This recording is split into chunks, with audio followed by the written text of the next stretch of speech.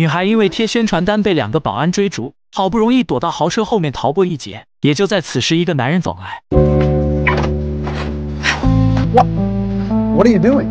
Arrest me if you must, but just know that if you call the police, you're only supporting. 他一脸的茫然。女孩还想再说什么，刚才的两名保安已经折返回来，她撒开腿就跑。保安见到男人后就停住了脚步，再也不敢上前，因为男人正是他们的少东家。安妮不愿公园被改造成商业区，到处贴小广告宣扬罪魁祸首谢顿集团的恶行，但她怎么也想不到，帮助她脱困的男人正是谢顿集团的唯一继承人。不久后，杰克追上了她，谎称自己刚才因为拦住保安失去了工作，现在已经无处可去。安妮因为内疚请他上了车。杰克看着眼前的大巴，有些迟疑。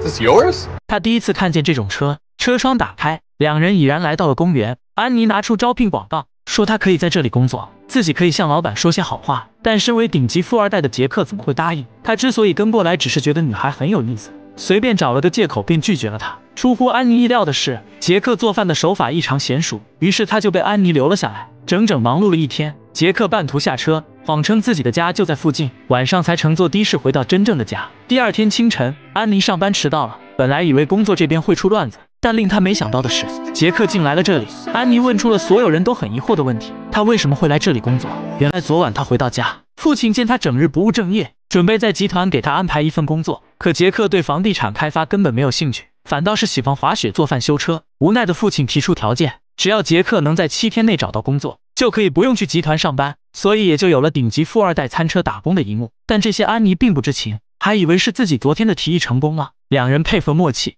很快就完成了中午忙碌的工作。安妮接下来准备去收集保住公园请愿书的签名，杰克主动提出帮忙。凭借吸引人的帅气外貌，签名的人络绎不绝。也就在此时，他的一位追求者出现。What is that for？